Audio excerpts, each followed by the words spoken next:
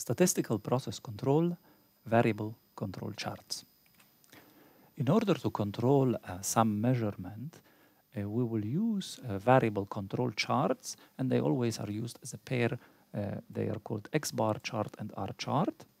And um, in, uh, in, in, the process of setting them up, first of all, we have to decide what we want to measure. In our example, it will be the height of steer support, where steer support is a part of, um, of a scooter that we're producing, and we're really concerned that this height is, uh, is, uh, is accurate for all parts.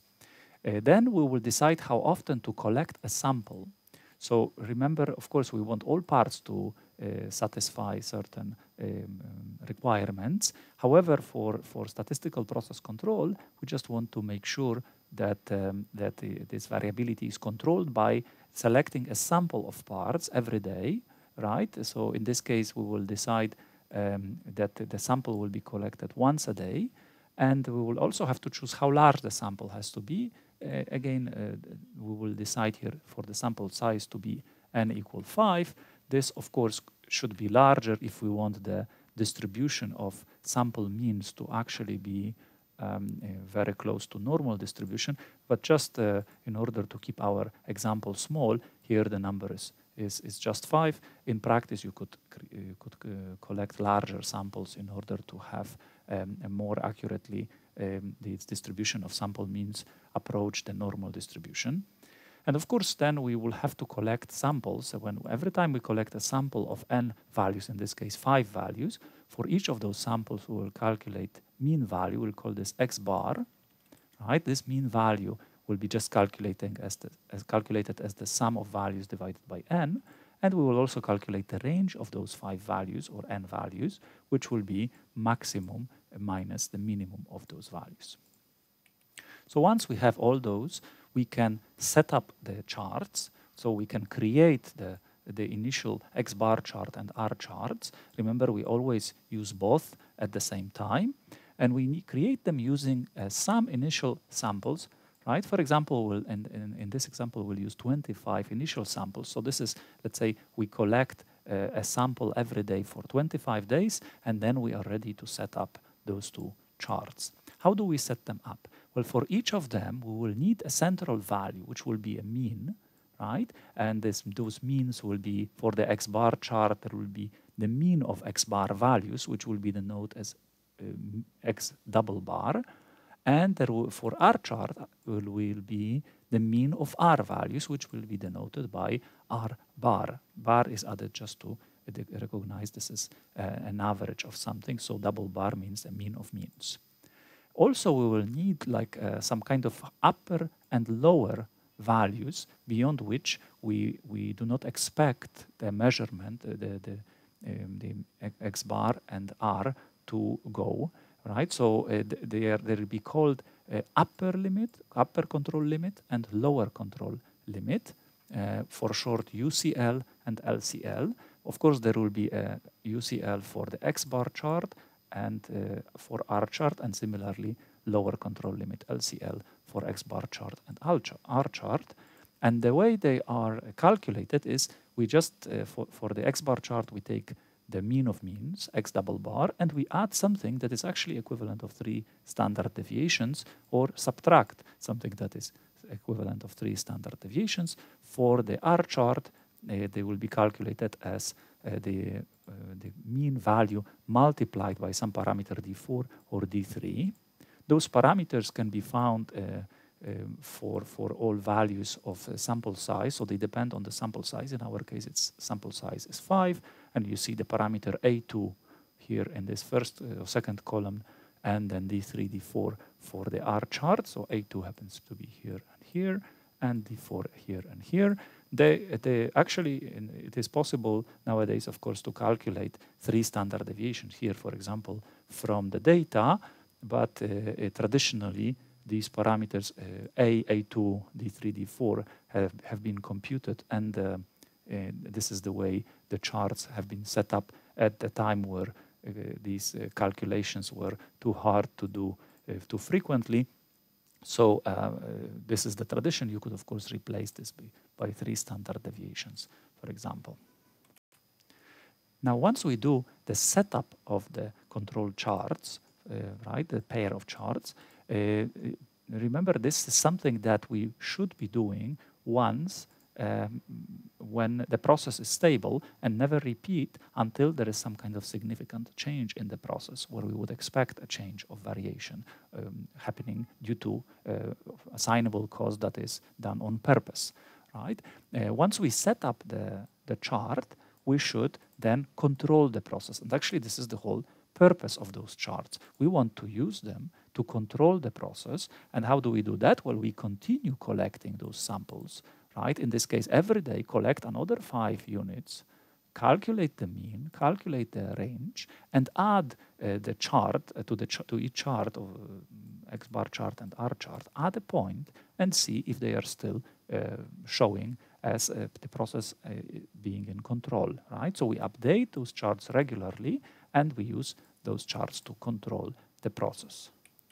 So what do X bar charts and R charts look uh, here is an example. So the first step will be setting them up. So as I said, the measure is height of the steer support uh, for scooters.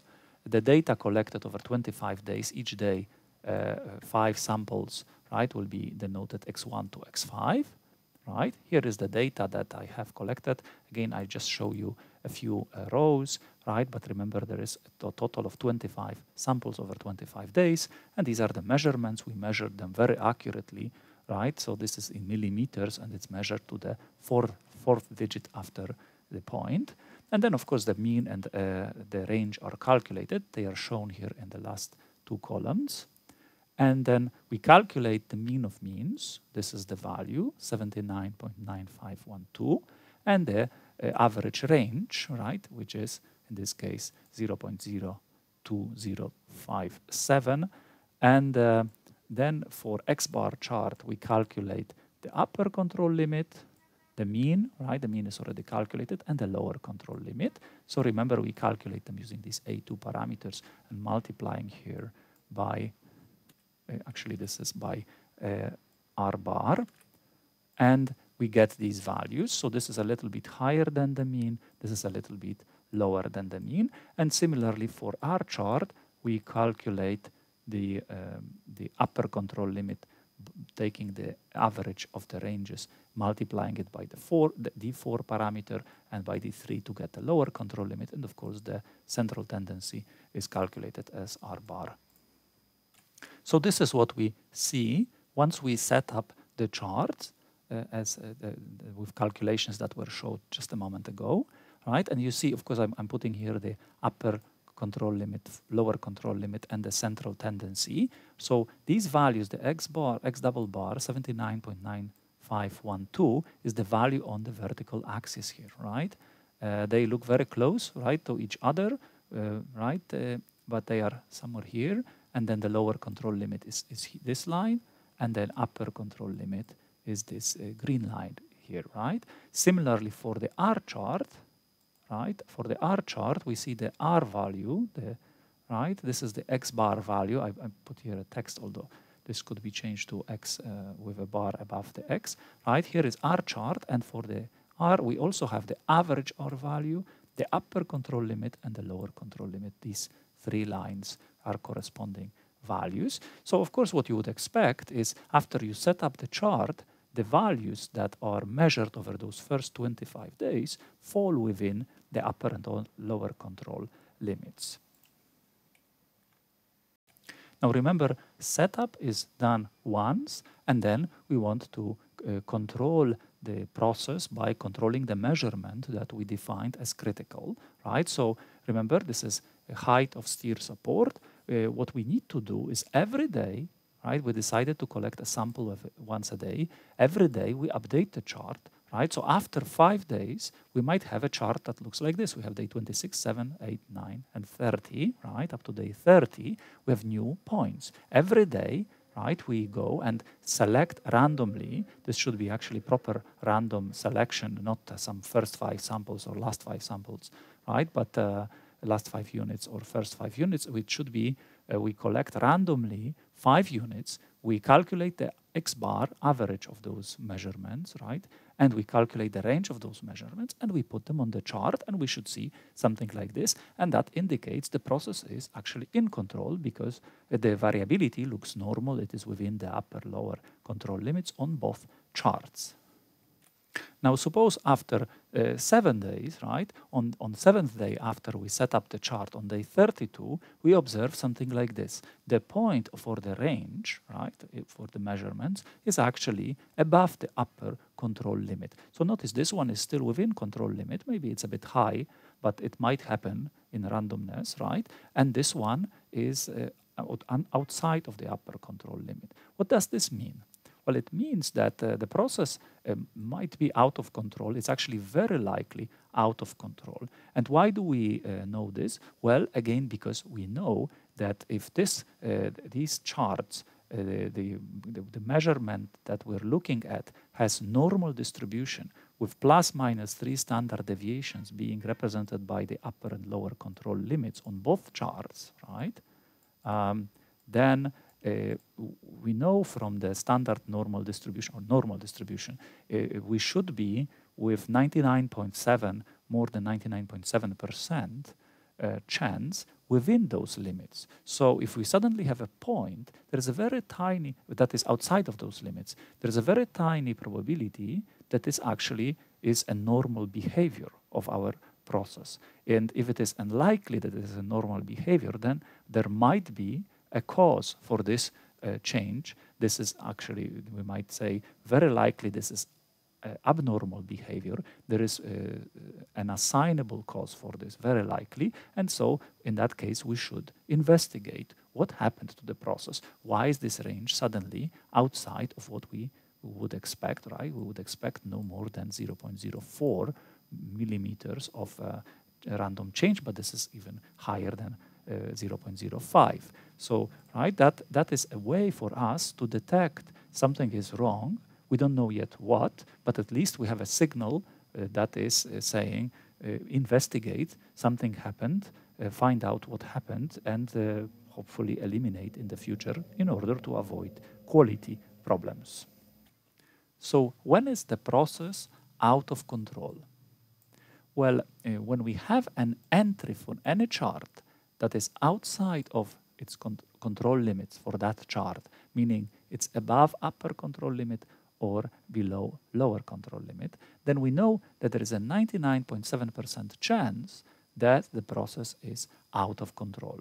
Why do we know this? Well, because a probability that a random value taken from a normal distribution, which this chart is showing, right? A sample means follow a normal distribution is not within three standard deviations of the mean, the probability of this is just 0.3%.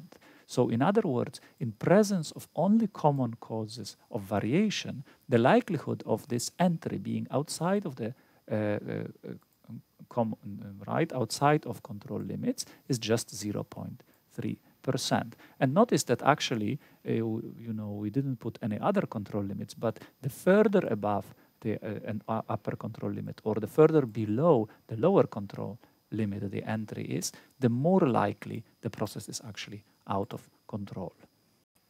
There are other patterns that can be uh, considered uh, um, indicators of process going out of control. For example, if you have eight subsequent points, all of them above or all of them below the center line, this also indicates a need for further investigation. This might be an indication that the process went out of control. Because remember, in a normal distribution, the likelihood of having eight uh, points above the mean is right. Each of them has 50% chance. So eight in sequence have the, uh, the probability of 0.5 to the power of 8, which is just about 0.4%, i.e. this is very unlikely. And actually other statistically improbable patterns may be pointed out, but this is just an example of another pattern. But the most important indicator that the process is out of control is the entry in the any chart is outside control limits.